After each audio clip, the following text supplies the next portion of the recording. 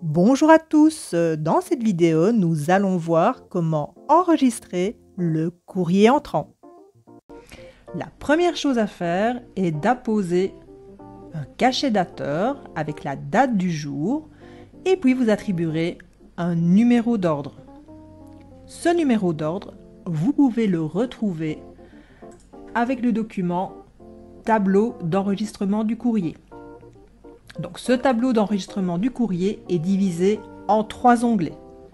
Le courrier entrant, donc les courriers que vous recevez, le courrier sortant, donc les courriers que l'entreprise envoie, et le courrier interne concerne tous les documents internes à l'entreprise, donc les notes de service, les notes d'information et éventuellement les comptes rendus.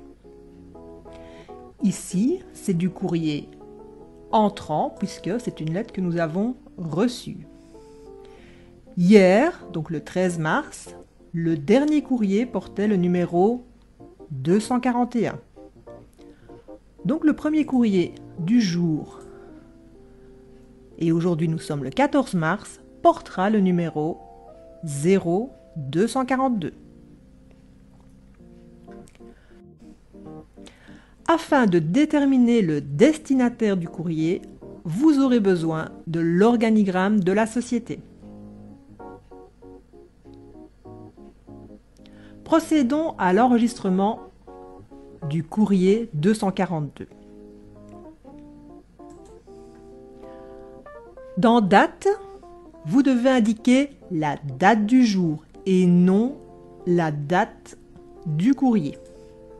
Donc si je reprends mon courrier ici, vous voyez que le courrier est daté du 12 mars, mais je l'ai reçu le 14 mars. Donc c'est bien la date de réception que je dois indiquer dans ma première colonne. J'indique donc 14 mars. Dans le numéro d'ordre, j'indique donc 0242. L'expéditeur du courrier est indiqué en en-tête, donc ici Confection Julia.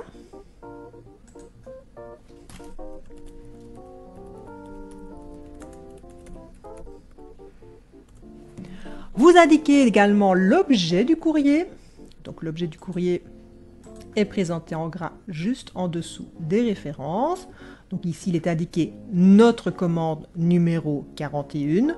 Donc dans l'objet, j'indique leur commande numéro 41.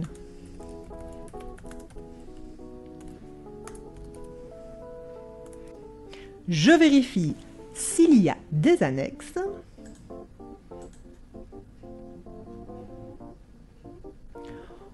Aucune annexe n'est présente, donc je ne note rien dans cette colonne.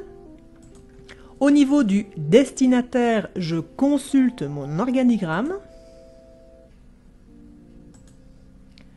Donc ici, puisqu'il s'agit de la commande d'un client, l'entreprise a donc vendu. C'est donc Marion Legrand, directrice des ventes, qui sera la destinataire du courrier.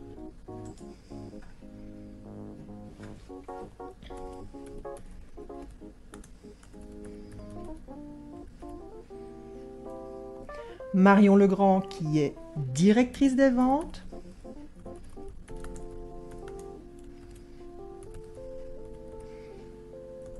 Et dont le service est donc bien le service des ventes. Et votre courrier est maintenant correctement enregistré. À bientôt pour d'autres astuces.